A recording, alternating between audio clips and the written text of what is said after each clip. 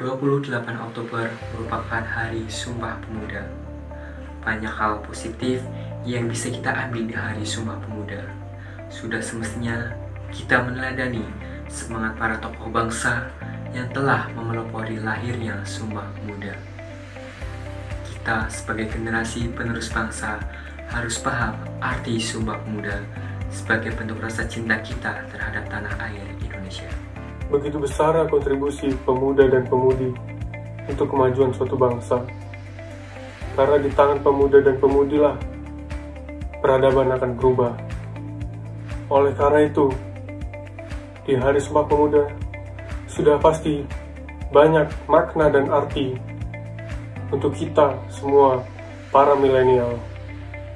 Selamat Hari Sumpah Pemuda yang ke-92 untuk semua generasi pemuda Indonesia.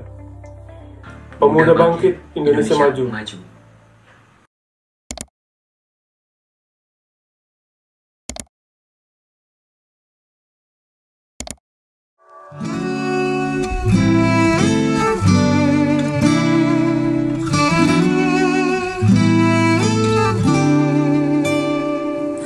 Pemuda, ke mana langkahmu menuju?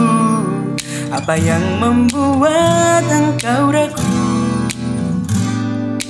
Tujuan sejati menunggumu sudah Tetaplah para pengirang semula